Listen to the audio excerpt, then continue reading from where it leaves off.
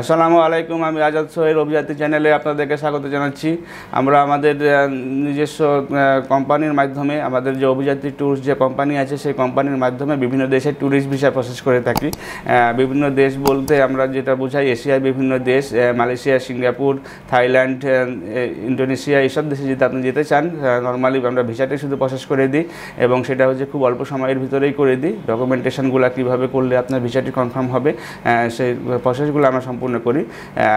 সুতরাং যদি আপনারা কেউ ট্যুরিস্ট ভিসাতে যেতে চান সেই ক্ষেত্রে আপনারা আমাদের সাথে যোগাযোগ করতে পারেন। আমাদের সাথে যোগাযোগের জন্য আমাদের স্কলের বিভিন্ন নাম্বারগুলো আছে, সেই নাম্বারগুলোতে ফোন দিতে পারেন অথবা ডেসক্রিপশন বক্সে আমাদের অফিস অ্যাড্রেস দেওয়া আছে, আপনার সরাসরি অফিসে এসেও কথা বলতে পারেন।